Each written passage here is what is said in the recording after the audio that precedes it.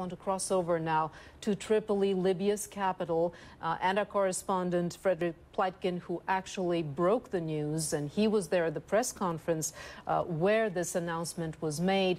Uh, Fred, uh, we are hearing that, and we were seeing pictures on Libyan state TV. Uh, that uh, there are massive crowds there. There we see those massive crowds at Gaddafi's compound.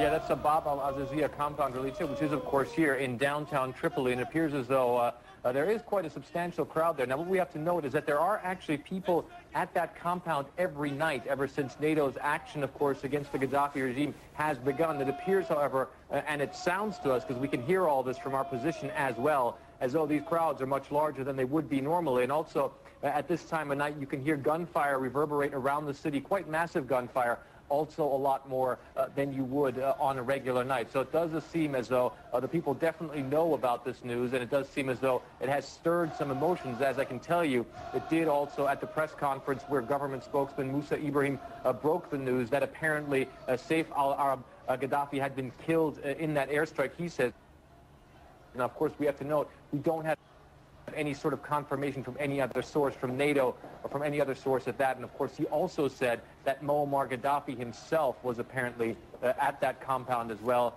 But again, uh, no confirmation on that either. Elisa? And we hear uh, some also some gunfire as, as you're speaking. Uh, give us a sense of, uh, of what is happening, of whether you're hearing a, any overflights, any new airstrikes.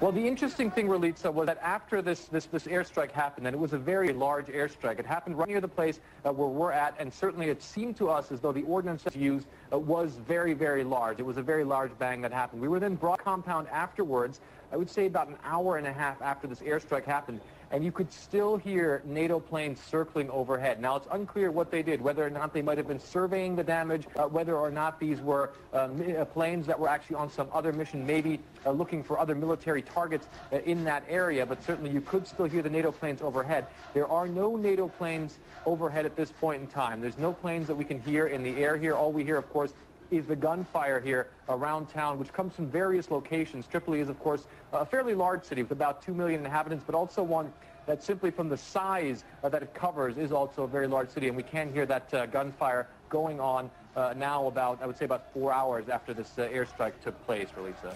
And Fred, what can you tell us about uh, uh, Saif al-Arab al-Gaddafi, Colonel Gaddafi's youngest son, who uh, was killed in this airstrike. Uh, we have not heard much from him.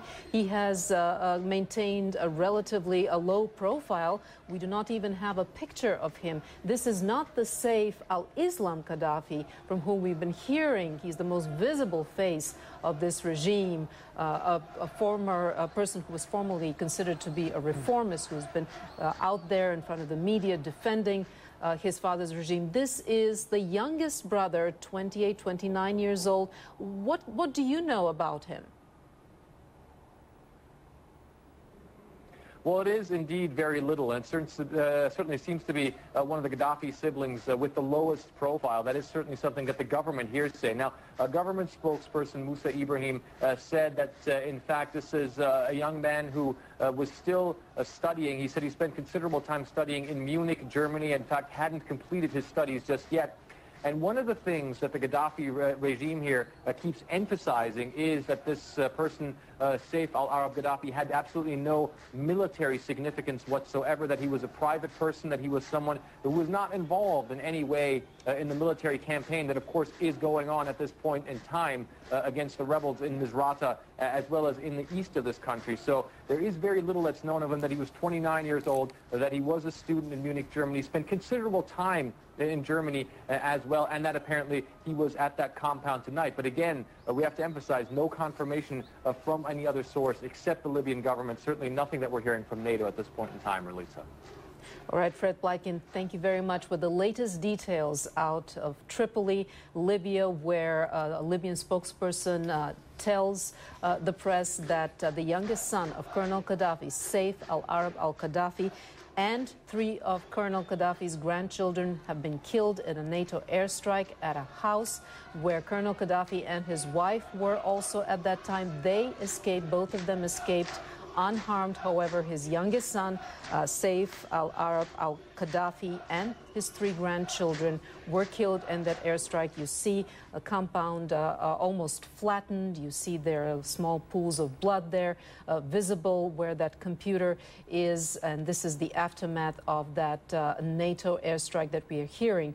Uh, from the Libyan government. We have had no reaction so far, no confirmation from NATO, uh, no reaction official from the White House. This is the scene at uh, Colonel Gaddafi's Bab al-Azizia compound where uh, supporters of the Gaddafi regime have gathered uh, to react to this news. We are working very hard, all of our sources, to find more details, to get more reaction from both NATO and the White House.